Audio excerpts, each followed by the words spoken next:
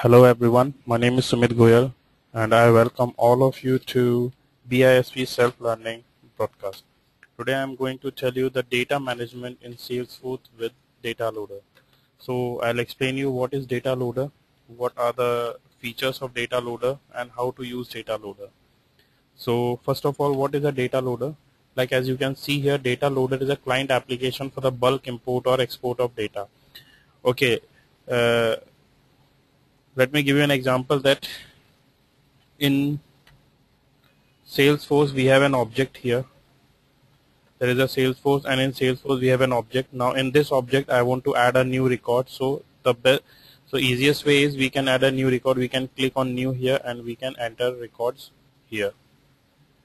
But let's suppose if you have if you want to enter thousand records, twenty thousand records, fifty thousand records, forty thousand records, lakh records, one lakh records, then how to do that? Then you have to do the you, you have to repeat the step one lakh time and it's not an easy task. It will be a very tedious task.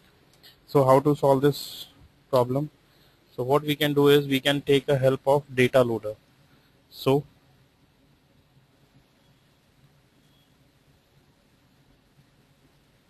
we can take the help of data loader here. So first let us let me explain you what is data loader. So what is a data loader? It is a client application. See this client application. It means it is only for client. Client application for bulk import or export. Bulk means lots and lots of records. Import and export means we can import the data from Salesforce to our system and from system to Salesforce. It is used to insert, update, delete or export Salesforce record. It means with the help of data loader we can insert, update, delete or export the records of Salesforce. And so we can export or import data to or from CSV format file. It, so the file which will be created after import or export. So the format of that file must be CS, CSV. CSV is means comma separated values. So if you if you try to import or export data from any other uh, file of any other format, then it will not be possible to do that. Now, what are the features of data loader? The features of data loaders are number one is an easy to use wizard interface for interactive use. It means it provides a very e easy to use wizard and a very interactive wizard so that anyone can use it. Support for large file up to 5 million records. It can support up to 5 million records and if you want to insert or import more than 5 million records then you have to go to Apex Exchange and look for a solution over there in Salesforce. Drag and drop field mapping so we can map the records with the fields in Salesforce with the help so with the help of drag and drop. It supports all objects including custom objects so it means the data loader can support custom object as well as standard objects detailed success and error log files in CSV format. It means once we import or export the records from or to with the help of from sales from or to Salesforce with the help of data loader, it creates two files, two log files, one for success and one for error files, and that to be in CSV format. And it has got one built-in CSV file viewer. So with the help of this, we can view the files that how the files are mapping, how the files looks like once it will be uploaded on database or on Salesforce. So let's see how to use data loader. So to use data loader, first of all, you have to register yourself on Salesforce. So like I have already done and I have created one object here position named as position and under position I have got few custom fields let me show you the fields. Like here if you see I have custom fields. Close date description functional area job level location maximum pay minimum pay. These are now there are so many fields. So if I have to enter records in so many fields or data into so many fields it will take a lot of time. So this this time can be saved by data loader. So how to use data loader now? So first of all go to setup. From setup click on data management. Under data management you can see we have one data loader. So when you click on data loader it will ask you to download the data loader. Because I, as I told you it's a client application so it will be downloaded on client machine or system machine. Then only we can use it. So click on data loader download the data loader and it will start downloading the data loader so for your convenience I have already downloaded and installed the data loader. So once we download and install the data loader and open the data loader it looks like this. Now if you see this this shows that it's an interface of data loader. It has got insert button update button upsert button delete hard delete export export all. Insert means if we want to insert the data from into Salesforce update if we want to update any data. Upsert means we want to insert plus update both. Delete you want to delete the record. Export if we want to export the data from Salesforce to our client machine and export all means it will export the data of all the objects.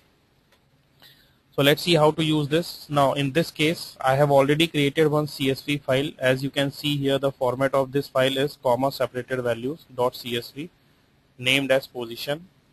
And when we open this we can see we have the yeah like you can see here we have same fields like we have in Salesforce like name open date underscore C. And please don't forget to mention underscore C because as I told you that this is the name API name of that field. So like uh, you can see here view fields. And uh, here you can see the names close underscore date underscore c description underscore c functional area underscore c job level underscore c location underscore under so and I in I enter few records over here. Close date so I use the same date for all. Close date. Number of days status target date target date close, job level, function, and here I have in, insert the records. Now what I want is I want to update or insert all the records of this file into Salesforce because right now we have no records here. You see this? We have no records here. So I want to insert all the records from this CSV file to Salesforce. So here we have few records so we can enter one by one. But if we have got let's suppose if we if we have got 1 lakh record then how to do that? So the best option is use data loader. So I use this data loader open this and what do we want? We want to insert. So I click on insert.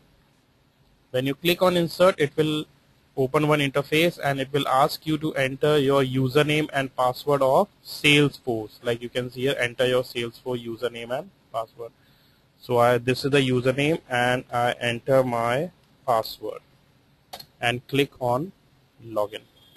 So it's verifying Salesforce username and password.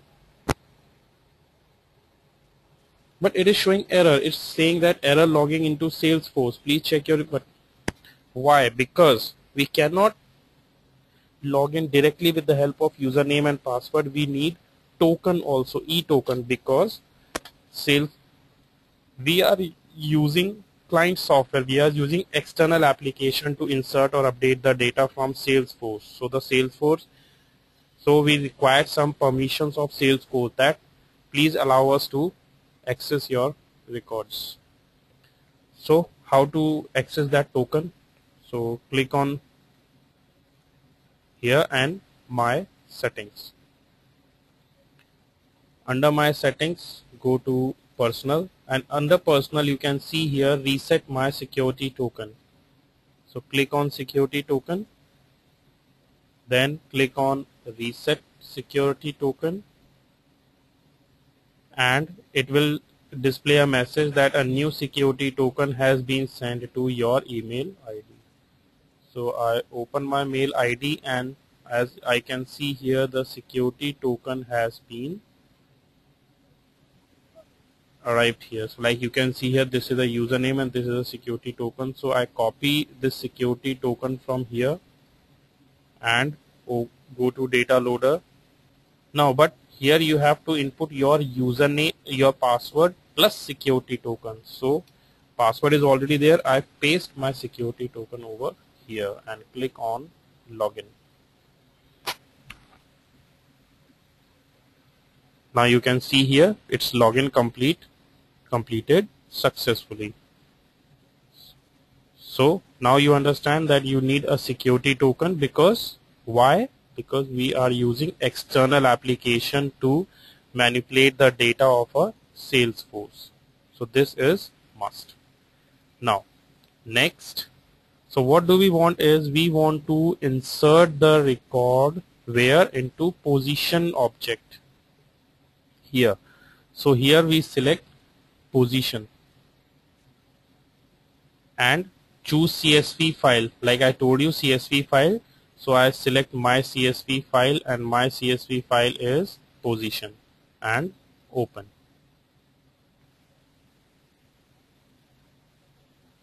Please be careful while selecting the object here. And next like it so it is displaying a message that initialization succeeded. Your operation will contain six rows. Six rows as you can see here how many records? One two three four five six. We have six records here. So click on ok.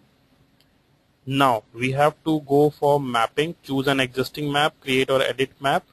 So we can go to create or edit map because we have to do mapping so there are two options. Either you can do one by one or you can click on this auto match field to column. So I click on this. So now you can see here all the records has the fields and records has been mapped here. And whatever names or fields are not mapped, don't worry about that. And click on OK. Click next. Now the step 4 is select the directory where you your success and error log files. As I told you that once the record successfully insert or update it displays two log files one for error one for success. So you can give the location where you want your error log files and then click on finish. So you have chosen to insert new records click yes. So it's it will display a message. And now you can see here that the operation has fully completed. There were six successful insert and zero errors.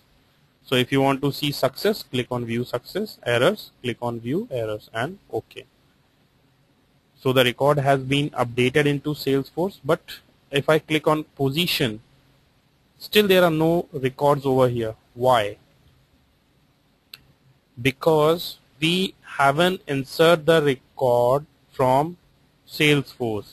We insert the record from external sources or external applications. So what you have to do is you have to click on go. As soon as you click on go, it will display you all the records over here. So see we have added how many records we have inserted? Six records. So one, two, three, four, five, six.